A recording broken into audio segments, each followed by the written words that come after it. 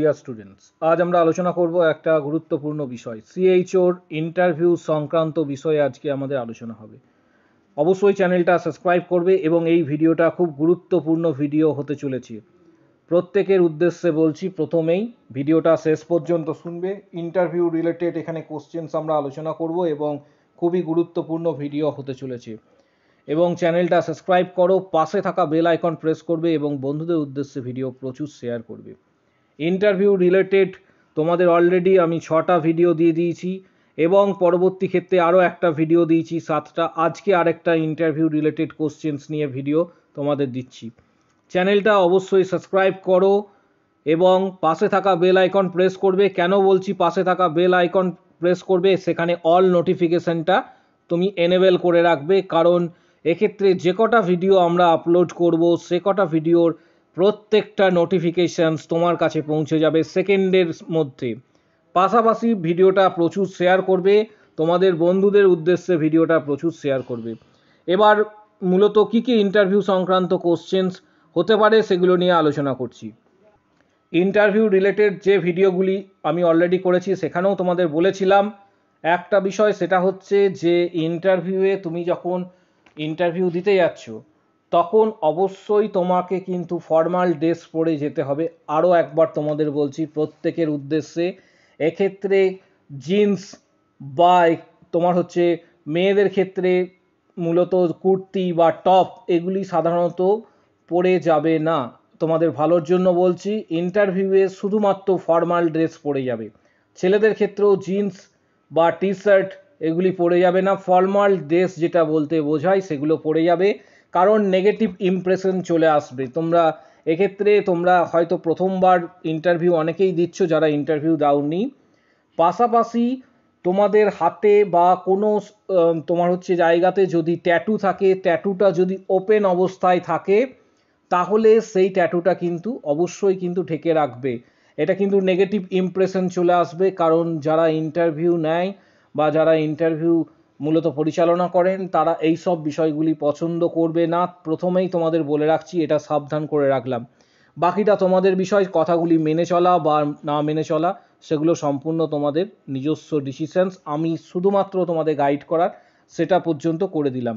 কারণ WB HRB রিক্রুটমেন্টে অনেকেই এর ভালো ইন্টারভিউ দেওয়া সত্ত্বেও অনেকের এক্ষেত্রে কিন্তু তারা রিজেক্টেড হয়েছে, কারণ ইন্টারভিউয়ে মার্কস কম এসেছে। জেসচার এবং বডি ল্যাঙ্গুয়েজের ওপর পুরো ইন্টারভিউয়ের বিষয়টা নির্ভর করে। এটা তোমরা জেনে রাখবে প্লাস মেন্টাল এবিলিটি সমস্ত কিছু বিষয়ের ওপর ইন্টারভিউ নির্ভর করে। ইন্টারভিউ রুমে মূলত তোমাদের আগেও বলেছি, এখনও বলছি যে তোমাদের তিন থাক তিন থেকে চারজন স্যার বা ম্যাডাম থাকবেন। তারা মেডিকেল অফিসারও হতে পারেন either medical officer or nursing এর টপ লেভেল অফিসার হতে পারেন। তারা ইন্টারভিউ কন্ডাক্ট করবেন। তুমি যখন রুমে প্রবেশ করবে প্রথমেই পারমিশনস নিয়ে নেবে, যেটা বাংলাতেই বলো বা ইংলিশে বলো, যে আমি কি ভেতরে আসতে পারি, এটা অবশ্যই পারমিশনস নিয়ে নেবে। যখন তুমি বসবে, তখনও তুমি কিন্তু পারমিশনস নিয়ে নেবে যে আমি কি বসতে পারি। এটা বাংলাতেও জিজ্ঞাসা করতে পারো বা ইংলিশেও জিজ্ঞাসা করতে পারো। এর পরবর্তী ক্ষেত্রে তোমাদের কোশ্চেন্স আমি তোমাদের বলে দিচ্ছি যে এমআরভিসি যে প্রোগ্রামগুলি রয়েছে, MRV what is MRVC programme, এটা কিন্তু অবশ্যই করবে। গ্লুকোমা অ্যান্ড ইটস ম্যানেজমেন্ট এটাও কিন্তু অবশ্যই করবে। তারপরে তোমাকে কিছু বিষয় যেগুলি জানতে হবে, এগুলো খুবই গুরুত্বপূর্ণ বিষয়। এগুলো অন্য কোনো চ্যানেলে বলবে না বা অন্য কোনো চ্যানেল থেকে তোমরা এই ধরনের ইনফরমেশনগুলো পাবে না। ধরো তুমি যে জায়গা থেকে বিলং করছ, যে ডিস্ট্রিক্ট থেকে বিলং করছ, বর্ধমান, আমি ধরে নিলাম বর্ধমান ডিস্ট্রিক্ট থেকে তুমি বিলং করছ, তোমার লোকাল যে হসপিটাল রয়েছে লোকাল হসপিটালে কতজন স্টাফ রয়েছে? কতজন স্টাফ রয়েছে সেগুলি তোমাদের জানতে হবে। মোটামুটি একটা অ্যাপ্রক্স পাশাপাশি এএনএম এবং জিএনএম কতজন স্টাফ রয়েছে এবং লোকাল যে পিএইচসি রয়েছে সেখানে কতজন স্টাফ রয়েছে এগুলো তোমাদের কিন্তু জানতে হবে কারণ এগুলোর ওপরও কিন্তু অনেক সময় কোশ্চেন্স করা হয়ে থাকে। যেহেতু সিএইচওর ইন্টারভিউ দিতে যাচ্ছ, এটা তোমাকে লোকাল বডিস অবশ্যই জানতে হবে কারণ এগুলি সাধারণত কমিউনিটির সঙ্গে ডিল করা বিষয়। তার পাশাপাশি ডিজাস্টার ম্যানেজমেন্ট বিষয়টা ডিজাস্টার ম্যানেজমেন্ট বিষয়টা তোমাদের ভালোভাবে করে যেতে হবে। ডিজাস্টার ম্যানেজমেন্টের যে বিভিন্ন টাইপের যে প্রকারভেদ এবং পাশাপাশি যে সিস্টেমস রয়েছে সেগুলো করে যেতে হবে।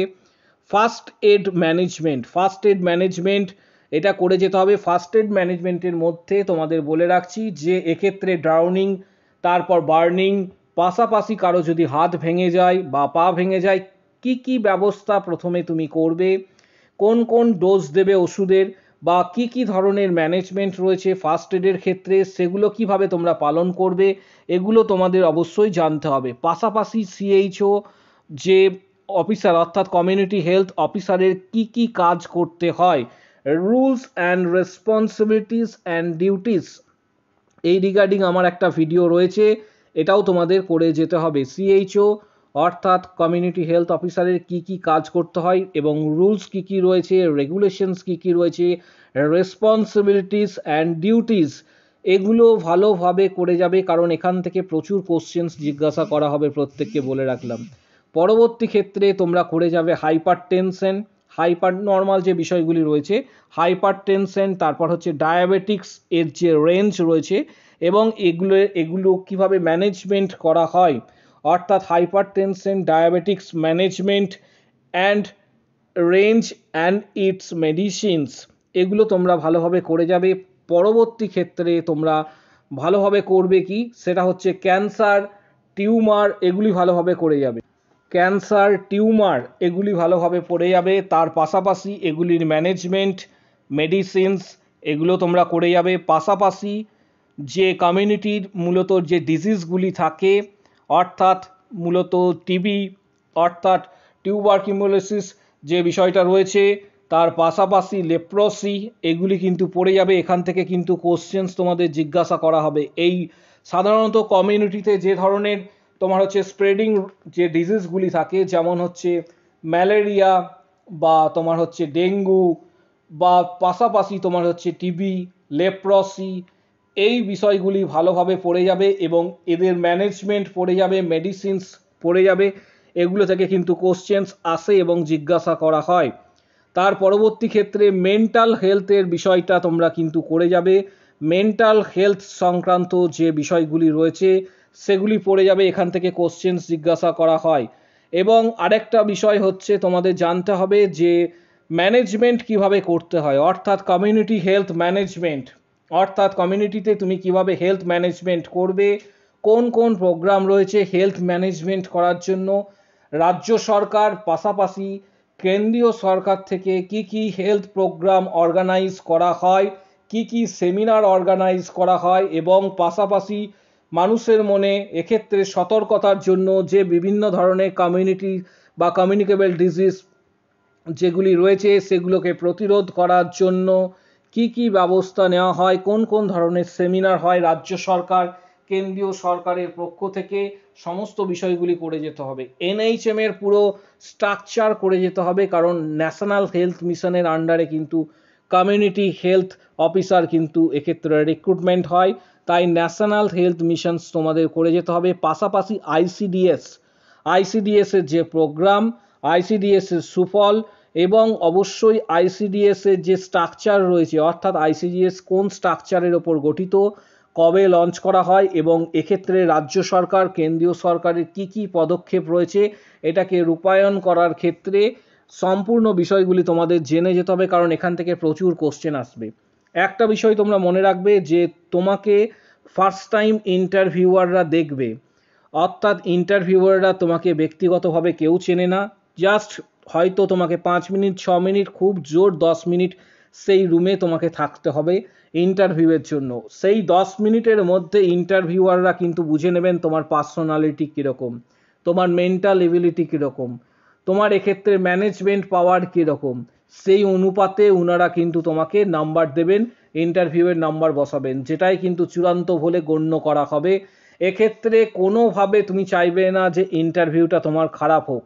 আরেকটা বিষয় যে বিষয়টা গুরুত্বপূর্ণ সেটা হচ্ছে যে তোমার যদি কোনো কোশ্চেনের অ্যান্সার তুমি যদি জানো না বা তুমি সেই মুহূর্তে তোমার মনে পড়ছে না, তখন তুমি সেটা কিন্তু ভুল অ্যান্সার দিয়ে আসবে না। এটা কিন্তু নেগেটিভ ইমপ্রেশন পড়বে।